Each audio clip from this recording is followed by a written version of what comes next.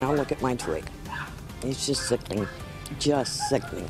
Storms carving a path of destruction across the Kansas City metro. More than 50,000 people remain in the dark tonight while others are cleaning up a big mess. And we have team coverage tonight of the storm destruction. From the damage to the homes, including one that was just about to be sold to the power poles still on fire hours after those storms passed. But first, 41 Action News anchor Cynthia Newsome begins our coverage at Armour Road in McGee where a tree is still blocking the street. Cynthia. Yeah, we are at McGee and Armour Street in Kansas City, and I want to give you a good look at the trunk of this tree. Can you believe this?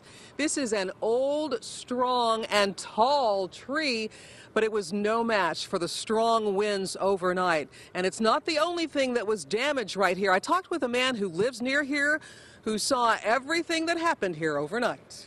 It was exciting. TJ Conway is getting an up close and personal look at what he saw happen last night around midnight during the peak of the storm. There was a lot of thunder and lightning and wind, and basically we heard the crack of the tree and we saw it fall onto the car. Like a toothpick, the powerful winds simply snapped this giant tree as it fell onto the street and onto this car.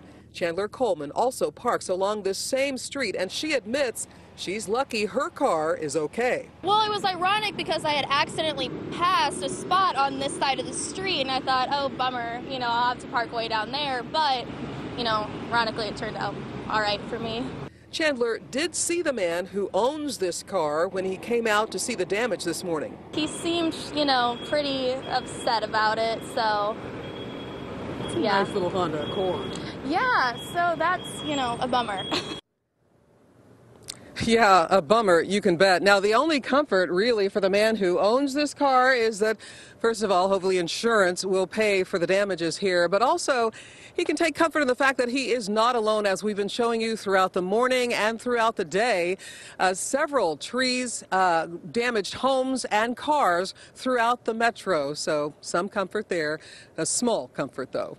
Reporting live, Cynthia Newsome, 41 Action News. Cynthia, thanks. About an hour ago, Kansas City leaders speaking about their response to the storms. 41 Action News reporter Lexi Sutter just returned from that news conference and has more. Lexi.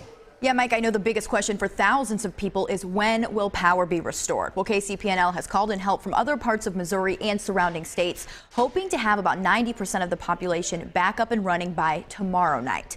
Now, the mayor spoke about the city's efforts so far. He says there were about 40,000 trees that were down, 30 stoplights were hit, and 1,500 city employees are working around the clock. Now, he did make a point to say how appreciative he is to see people out there helping each other. They are uh, taking their own power tools and going out and cutting trees up that have fallen into the right of way. They're out helping their neighbors with damage or trees that have fallen uh, onto private property. We need our citizens to continue to act that way in the Kansas City way. Uh, it's something that I think we should all be proud of. Now, if you have questions, you need help, you can call 311 or you can send a tweet to the city. There is also a shelter available to those thousands of people that will be without power tonight. All of that information is on our app and on our website at kshb.com. Lexi Sutter, 41 Action News. All right, Lexi, there is uh, the latest power outage numbers from KCP&L right here. Just over 51,000 customers remain without power as of this moment. At KCK, 11,000 people. And over in Independence, that number is about 7,200. And Metro Power crews have been working nonstop since the wee hours of this morning trying to restore power. They've made a pretty big dent in fixing the problem, but still have a lot of work to do. And we're told those repairs could take days to complete. 41 Action News reporter Josh Helmuth continuing our team coverage now with one area of KC that is still in the dark right now. Josh. Yeah, I'm in northeast Kansas City along Independence Avenue. We're several blocks still without power. That, of course, includes intersections like this one. Many stoplights not operable. You can see three in my area where I'm at right now. Drivers happen to use these intersections as four-way stops. And I want to stress they need to be very careful. We've been here for about an hour, hour and a half, seen several close calls near accidents. People need to be very careful when driving.